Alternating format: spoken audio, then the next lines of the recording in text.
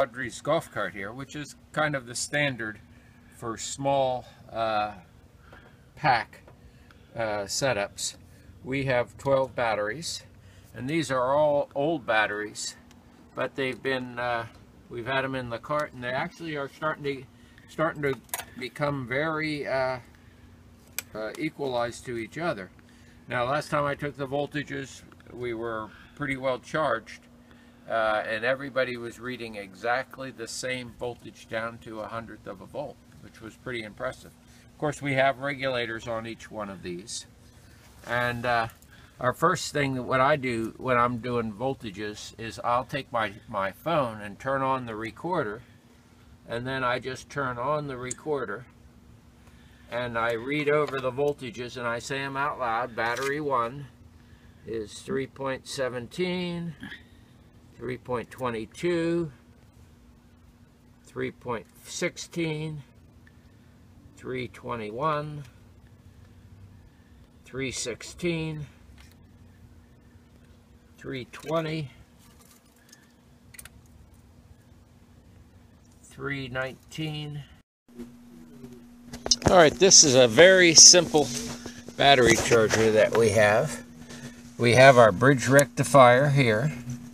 We're charging a 48 volt battery. We're charging up to about 60 volts. I have a heating element that just is a 120 screw in the light socket type heating element, probably about 10 amps. And I have a little, uh, it's called a uh, digital relay or a solid state relay. Uh, and this one is AC, so this relay here is being controlled here from the uh, from a little power uh, supply that I made that goes to our battery management system. There's our bridge rectifier that turns the AC into DC. And uh, this chokes off our current so that we're only getting so many amps. Now the problem, of course, with this very simple setup is it it does not vary the amps at the end of the charge. It doesn't trickle off and hold the voltage at one level. But it's uh, very simple. I have inside uh, the uh, battery box also I have another one that I made to control another charger but the same idea I have a big capacitor on this to uh, so that we don't have the thing flick off and on off and on that it'll give a little time between cycles what I have is uh, the I'm running it off of the power of the whole pack. I have the whole pack, and then I have a Zener diode to give me uh, 12 volts, which is a voltage that'll run our relay, but also won't burn out our little modules when they open up. All right, well, here's some rough drawings uh, just to explain what our system is. Basically, here's our AC power coming in, and it goes through our uh, solid state relay, and that's one of these things.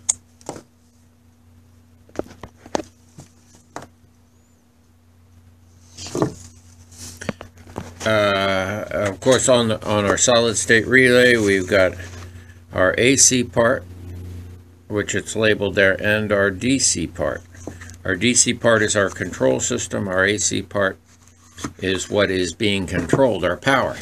So our AC uh, relay controls the AC power going to our bridge rectifier. This is our bridge rectifier. Out of our bridge rectifier comes our DC.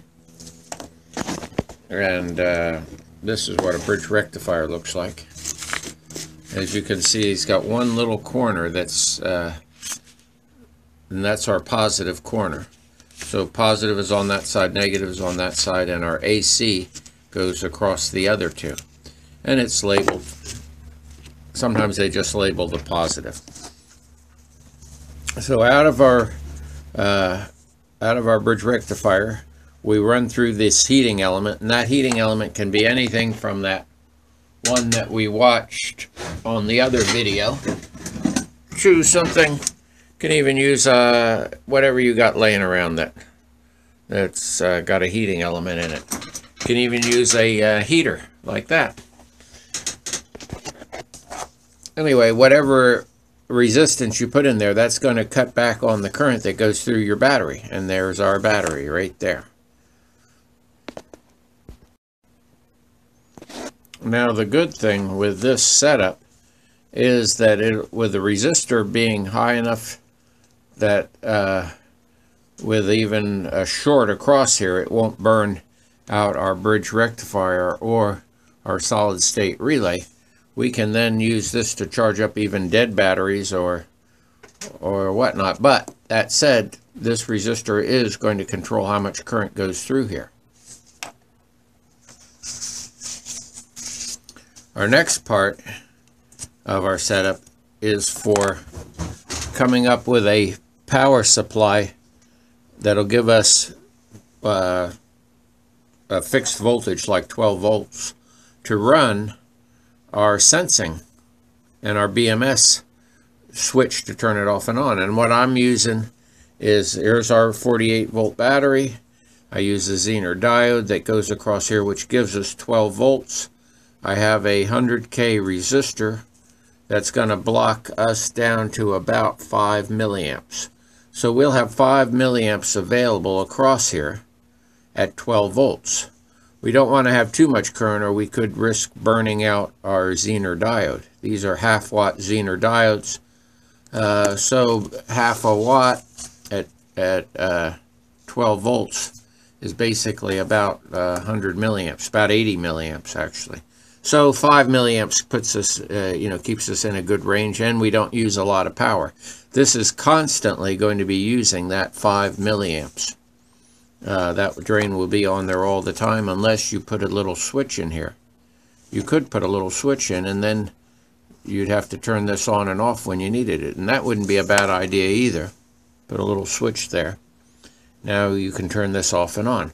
All right, now that you've got 12 volts, we come over here, and this is how we hook that up. This is our solid state relay that we were talking about before. This is our voltage regulator for uh, lithium batteries. And I have one of those right around here.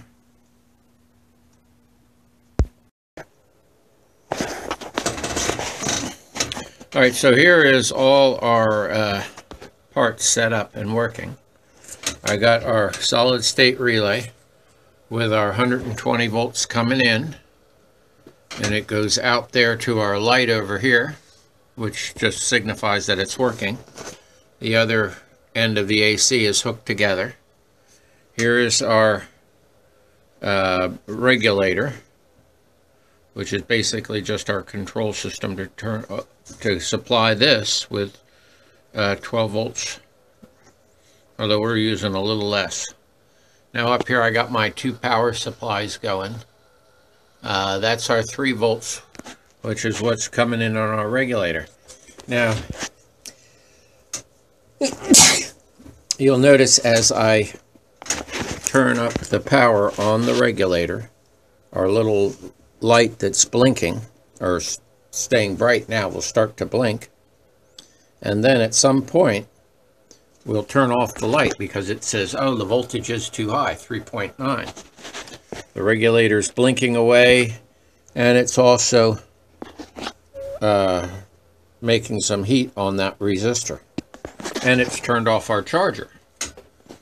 Now, as the voltage comes back down, the light will stop blinking and our charger will come back on. Of course, our problem is with this setup is that once we get close to the threshold, we may end up with the light blinking off and on.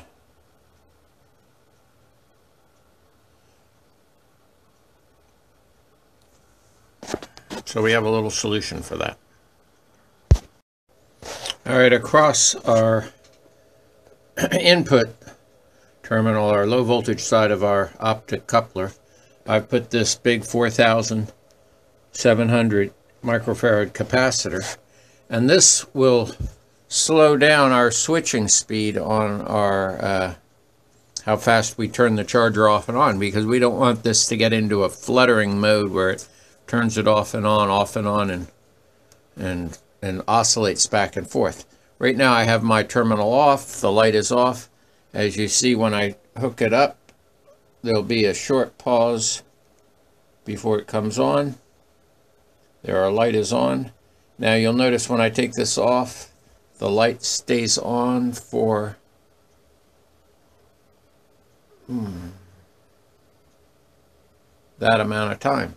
That's why that capacitor is uh, charging up.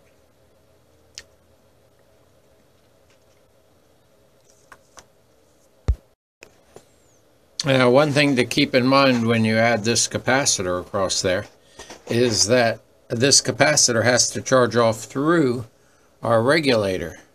So it's possible that we could overwork our regulator if we had too big a capacitor. So I've put a little resistor, a, a 1000 ohm resistor in here. Of course, in your system, you've got a uh, current limiting resistor off of the 48 volts across the 12 volt diode. But this right here will give us, I've unhooked it there, and as you can see, the light is still on. We got, yeah, we got our 15, 20 seconds of lag time between it. And we have, uh, we don't have a lot of parts.